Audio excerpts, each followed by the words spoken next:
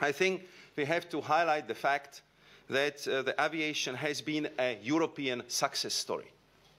Thanks to European efforts and actions, we have uh, today better accessibility to flights for all through cheaper tickets, more connections, safer and more secure flights, improved uh, industrial cooperation, leading to the European and worldwide champions in manufacturing, and I can go on and on in listing all the positive developments we have seen over the last uh, few years.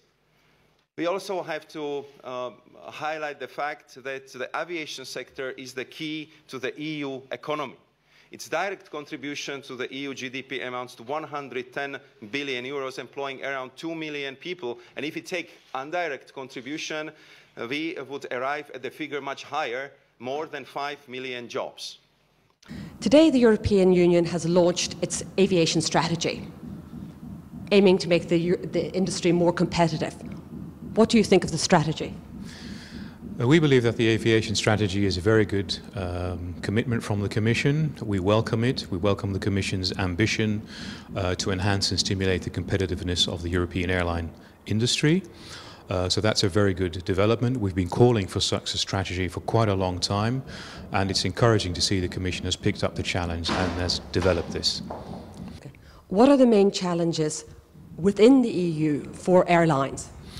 There are a couple of challenges for European airlines at the moment. If you look at the internal European market, we liberalized the market about 20 years ago. That's a, a big achievement. So caused a lot of extra uh, choice for passengers, choice in the market, differentiation in the market. So that's a real achievement. We're very happy with that. The biggest impediment and the biggest problem for European airlines at the moment is the cost and regulatory burden imposed on them, both at European but also at member states level. And that needs to be addressed, in our view, in this strategy.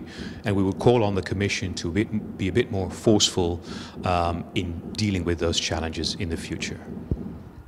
The Commission have placed a lot of emphasis on the external aspect of their aviation strategy. Would you like to say something about how the European airlines feel about that element? Are we on a level playing field with other competitors outside Europe? Yeah, I think it actually complements the internal part I just mentioned.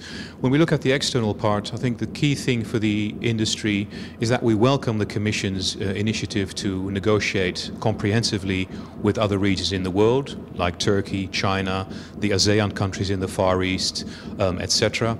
But we would like to call on the Commission to be very clear about the criteria under which it's going to ne uh, negotiate, what the key achievements are at the end, and again, what time they think they might need to do these uh, Uh, negotiations.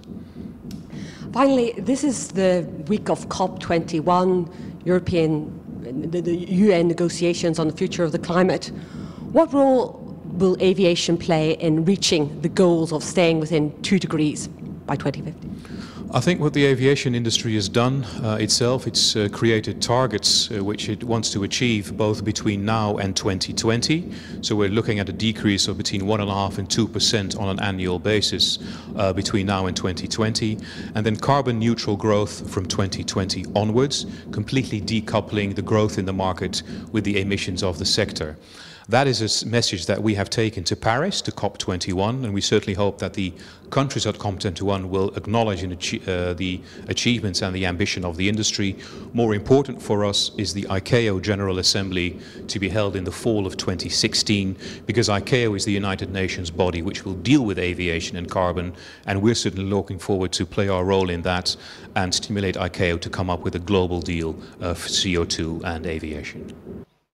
The strategy strikes the right balance between actions to further liberalize and open up new market opportunities in Europe and abroad on one hand and measures to ensure that aviation growth is sustainable from the social and environmental perspective on the other hand. And addressing sustainable growth, the proposal fits very well with the COP21 agenda.